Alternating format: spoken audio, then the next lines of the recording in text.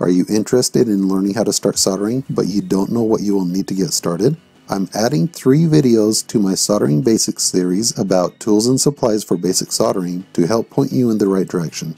This video is about what's required for basic soldering, and my next two videos will be about what's recommended for basic soldering. I will also be putting some links in the descriptions of each video to help you find something similar to what I'm using in these videos. Let's start with the soldering iron. There are a lot of options out there from basic, non-adjustable soldering irons to soldering stations with variable temperature and replaceable tips. Obviously, a soldering station will give you more options, but it will also be more expensive. A basic one will work just fine for basic soldering needs, but keep in mind that if you don't have a holder for the soldering iron, you will need to make sure that it's not going to burn anything when you set it down, be safe with it. While solder seems like it's just solder, there are actually different kinds. When working on electronics, you do not want to use plumbing solder. For electronic soldering, there is lead-based solder and lead-free solder. Lead-based solder is generally a bit easier to work with, but lead-free solder is a bit safer to use. You also have solid wire solder and rosin core solder.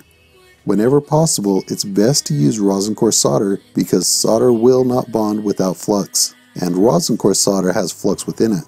And finally, there are different thicknesses of solder. The general rule of thumb is to use thicker solder when soldering bigger wires and parts, then use thinner solder when soldering smaller wires and parts.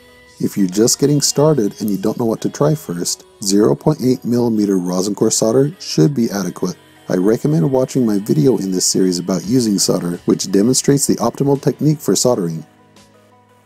Some people will say that you don't need to use flux in order to solder, and that they've been soldering for years without using any flux. If you're soldering with rosin core solder, which is the most common to find, you are using flux. You can usually solder just fine without any additional flux because the solder already has flux within it. But if you happen to get solid wire solder, it won't bond without added flux.